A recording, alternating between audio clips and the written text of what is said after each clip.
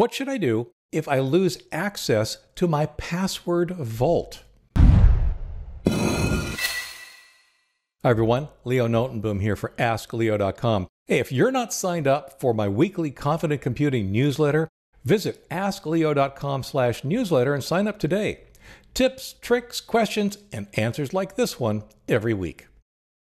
So, what happens if you lose your password vault? Here's the question What if I forget the password to my password vault? I'll lose everything inside. What then? what then, indeed? Of course, you should make sure that the password to your password vault, often referred to as the master password, is something that you can remember, something that you'll never forget. Um, and it might even be worth, you know, writing it down and keeping that slip of paper in a very secure location so that somebody else doesn't stumble onto it, but so that you can refer to it if you're ever in a situation where you've literally forgotten it. The problem, of course, is what if you didn't do that? What if you did forget your password? Or what if something else happens? What if something else happens that prevents you from accessing your password vault? The fear is that you'll lose access to everything, which is technically very true. You'll lose access to absolutely everything that is in your password vault, but only for a short time. The reality is, all you need to do for any of those accounts is the password or account recovery process that begins with, usually, I forgot my password. Because you have. Now, it'll be an annoyance. I get that. But it's not the disaster that so many people seem to think it is. Yeah, I've got 300 accounts in my password vault. And dealing with re- password recovery on those 300 accounts feels pretty daunting. In reality, it's more like a, uh, a just in time scenario, right? Where, okay, I don't have the password for this account, and I'll sign in, I'll do the password recovery, regain that account, then regain the next account I need, and just sort of do it over time as I use the accounts that I lost because I lost access to my password vault. But you can do it. You will not lose access to your accounts because you can always do a password recovery on all of those accounts. Now, there is one, I'll call it an annoying chicken and egg situation. And that's simply this most of the password recovery techniques involve sending a code to your email address.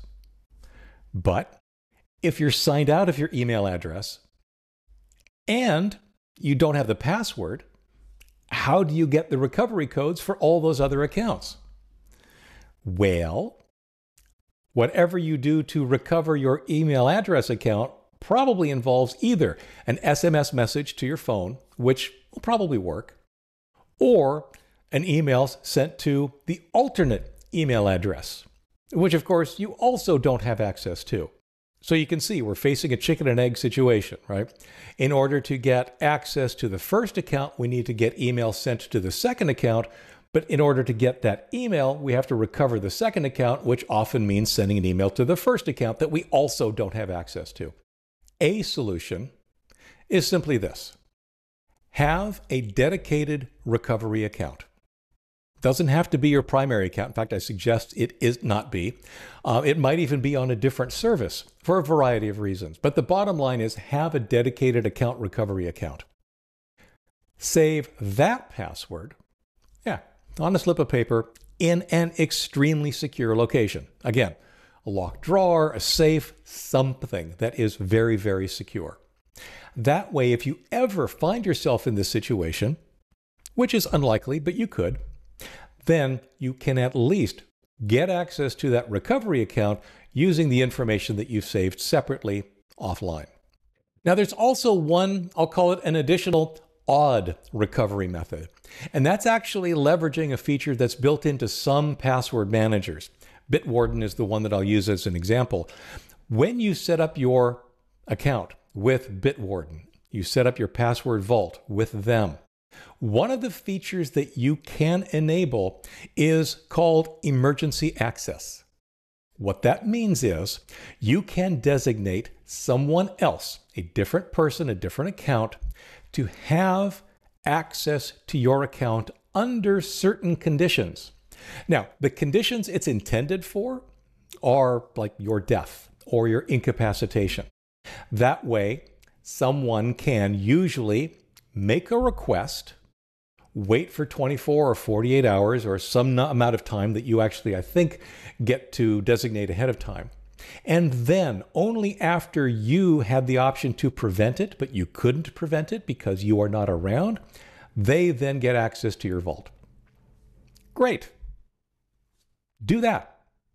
Seriously, if you've lost access to your own vault, make sure that you've got some kind of emergency access set up.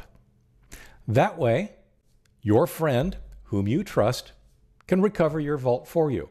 I mean, it's called emergency access. And yeah, if you've lost access to your vault, it is kind of an emergency. So it is something else to think about.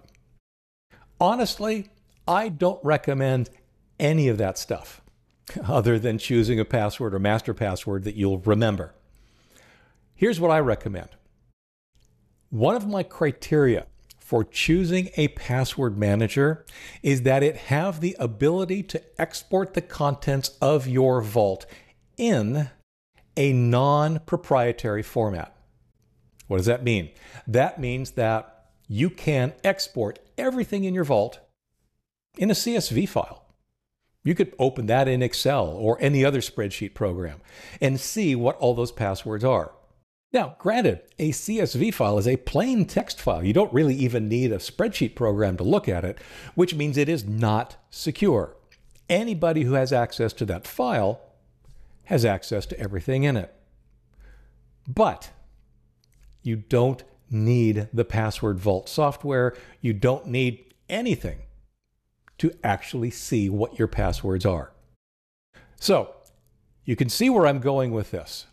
My strongest recommendation is to prepare for any kind of an emergency with a backup. Every so often, I tend to do it about once a month myself.